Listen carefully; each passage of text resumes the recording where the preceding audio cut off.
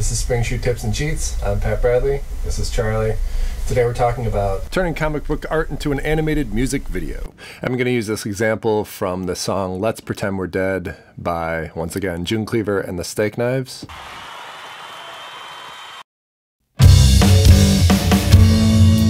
Originally, this is going to be the most minimal lyric video, just pulling illustrations from uh, a book I was working on. I felt like some of the verses had some strong imagery and they were, they were meant to hold up on their own, just with some camera drifts.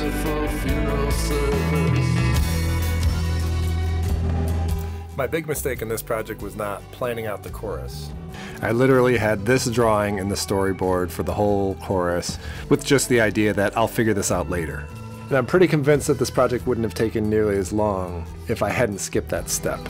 So here's a few examples of the original concept where it was just still images and the camera's moving and sort of revealing the lyrics almost like you're panning across a comic book panel. Make the lyrics part of your design.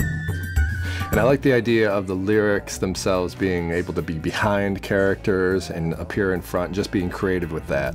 And in this scene, our heroes are floating up to what they hope is heaven. This is a good example of the lyrics being in the background, being visible, but not getting in the way, being part of the design. So once I started working with the chorus and having these skeletons, they became slightly more complicated than my original concept.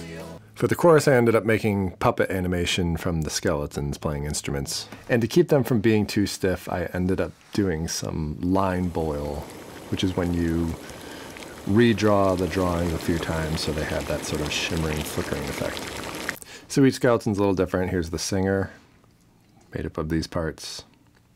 Doing the absolute crudest of lip sync for the vocals. Life will be so much easier when I have a skeleton playing a violin, even though technically there is no violin in the song, it's just a pedal effect on the guitar.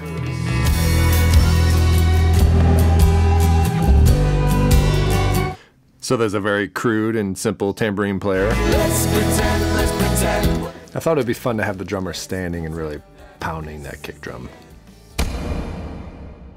And this is just a different version of the same scene where I have him hitting some cymbal accents.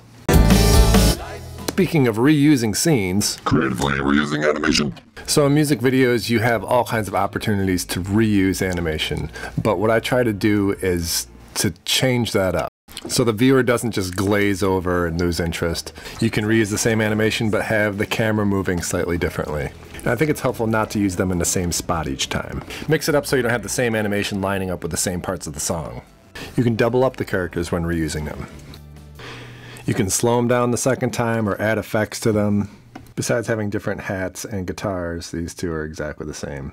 First time we see this scene, they're floating on clouds. Then again later, they turn into skeletons. Since I actually animated the grave diggers, they had to be in there more than once. You can even reuse animation from your other projects. Here's one of the background dancing skeletons by itself, but with a bunch of effects on it. This scene has multiple cheers with the camera pulling back, and this one just one with a bunch of flickering effects.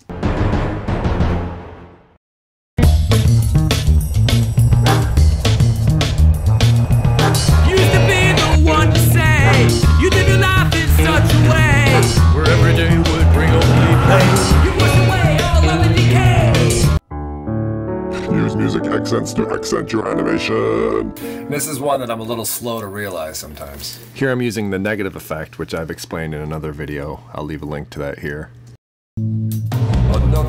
So those quick flashes that go with the tom hits is what I'm talking about. Game to play. Dressed in black while they looking so sad. Digging, digging, digging our graves. Here, just the background clouds have that effect.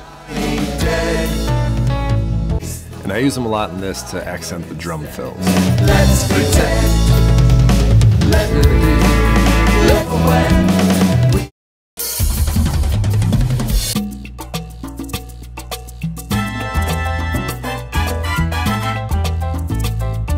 Make a splash with the title of your song and your band name. Rather than doing the old MTV style of having your band and song title in small print at the beginning, I'm a fan of making a bigger impression at the beginning and at the end.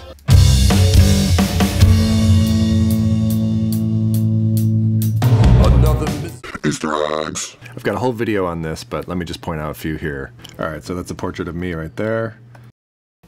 Hero is playing hangman here, along with tic-tac-toe, and the missing word would be steak knives. And it's become a signature of mine to have food and drink at an operating table, which goes back to the Switch with Bill Stanley. And of course, these are older versions of my kids. And just like the beginning, I like to end with something a little different. For my zombie video, it ended with just the guy on the organ here. I always think it's a good idea to put your band name at the end as well so people remember and maybe more information about it. Also, leave some room at the end for YouTube if you want to connect to other videos. Just leave space for that, and if you can, make that space a little interesting. This ending was a little different just because I, I had this fear. After having our TikTok account removed without any explanation, I started to wonder if it was because I was posting clips of this video early on. And I started thinking maybe people are considering this something that's promoting suicide, so I wanted to add this little message at the end, just to make sure there was no confusion there. And I kind of like how the whole tone of the song changes at the end with, with the message and with the imagery. I think we'll end it there. Thank you so much for watching, and thanks for everyone who's left comments on all my videos. I really appreciate it. That's what keeps me motivated to make more videos, and I will try to do so as time allows. And a shout out, of course, to June Cleaver and the Steak Knives for all their generous support. Uh, check out their music here, here. You might like it.